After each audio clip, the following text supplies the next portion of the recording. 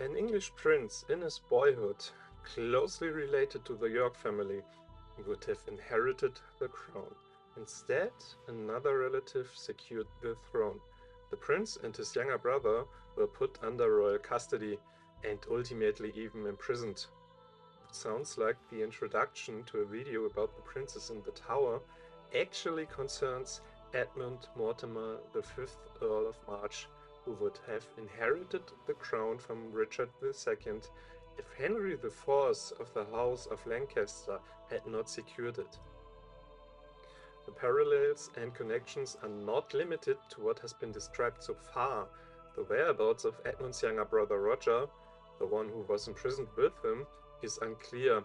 The House of York traced its claim to primacy over the Lancaster kings directly to Edmund. Richard of York, who started the Wars of the Roses, was the nephew of the prevented king. That's why I was even tempted to call this video The Other Princes in the Tower, but that was too much clickbait for me, even for me. Primarily because they weren't even locked in the tower. But this story, which is far too often untold, is still really exciting. However, there's a problem. The same names appear again and again and again in the English ruling dynasty. This can make understanding very complicated. I will therefore try to keep this as simple as possible and limit myself to the most important names. But if this is still too complicated and or unimportant for you, I will now show you the timestamp of when the actual story begins. Edmund Mortimer was born in Ireland on November 6, 1391, as the first son of Roger Mortimer and Eleanor Holland. His paternal great-grandfather was Edward III's second-born son Lionel of Antwerp. Here you go with complicated names. Lionel only had one daughter, Philippa of Clarence, who married the grandfather of the prince of our story. Edmund was also related to King Edward I through his mother. Edmund's maternal great-grandmother, Joan of Kent, was the mother of Richard II. Edmund was therefore Richard's half-grandnephew. As long as the king had no children, the Mortimer line was the heir to the throne via the connection with Lionel of Antwerp. When Edmund was born, his father Roger was Richard's successor. However, he died on July 20, 1398. Edmund was not even seven years old when he became crown prince himself. There were therefore discussions about the succession. However, Richard ensured that this remained unchanged. He felt that his successor would still be a minor for a long time as a way of securing his own power. After Richard's own minority, no one wanted to do it again.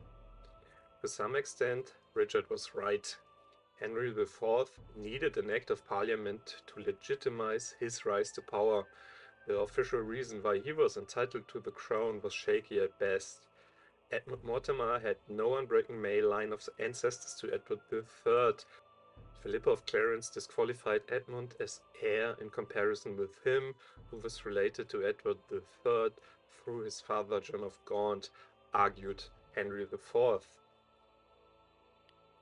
Henry himself knew that this argument from the House of Lancaster was weak. After all, Edmund's line had been recognized as heir without any problems before he seized the crown and the problem was made worse by Edmund's sister Anne marrying into the York line. This one was also directly related to Edward III, only through men. It went back to Edmund Langley, the fourth son of Edward III. So in case I still have viewers after this complicated part, let me describe what happened next. Henry certainly believed that Edmund and his brother Roger would have posed too great a threat to his rule, he therefore had them guarded by Sir Hugh Waterton at Windsor and Berkhamsted. However, they were treated honorably here and were temporarily raised with two of Henry's children. The prince's two sisters were less lucky, so they were left virtually penniless. As early as 1402 it became clear that the Lancaster king was right in his assumption that Edmund could become a threat to his rule. Prince's uncle was captured by the Welsh rebel leader Owen Glendower. However, the king assumed that Mortimer had defected and betrayed him. The monarch therefore confiscated Mortimer's possessions. Mortimer, in return, married Glendower's daughter and proclaimed his nephew Edmund the actual king.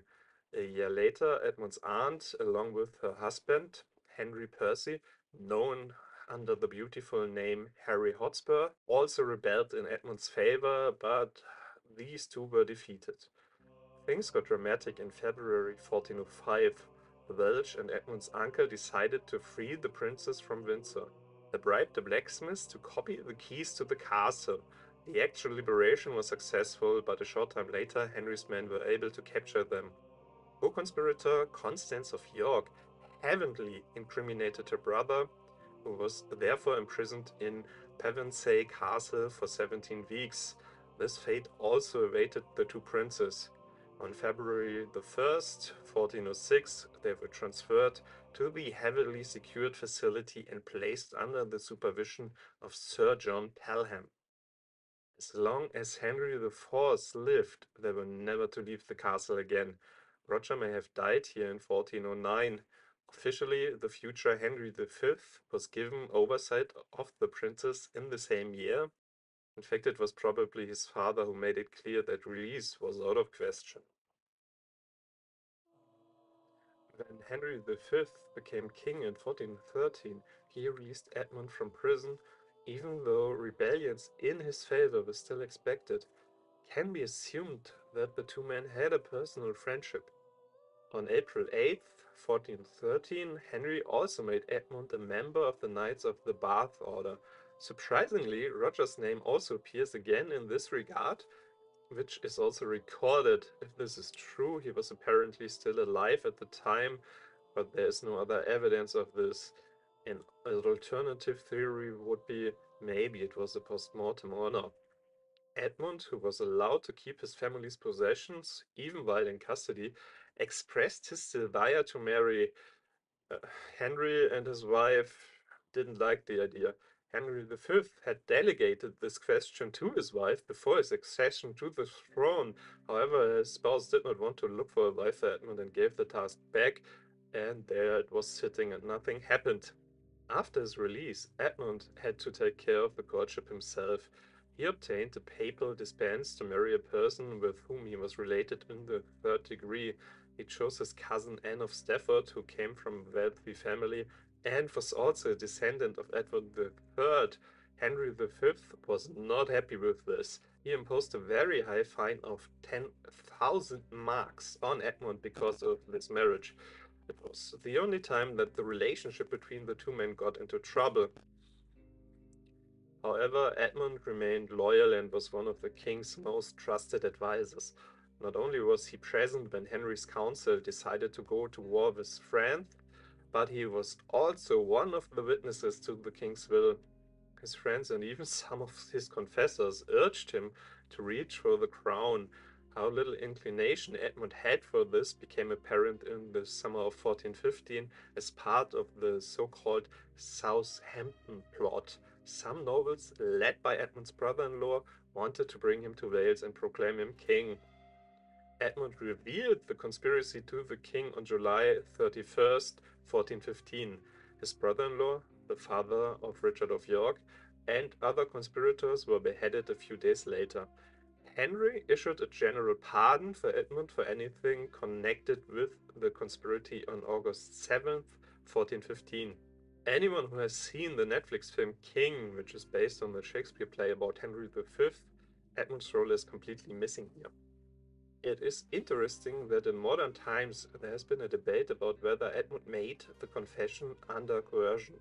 One of his dependents, named Lucy, was one of the conspirators. However, Edmund was part of the commission that subsequently sentenced the conspirators to death. In France, Edmund, who was deeply in private debt at the time, was one of the king's most reliable and loyal captains. Together with Henry, he travelled back to England for the monarch's wedding to Catherine of Valois.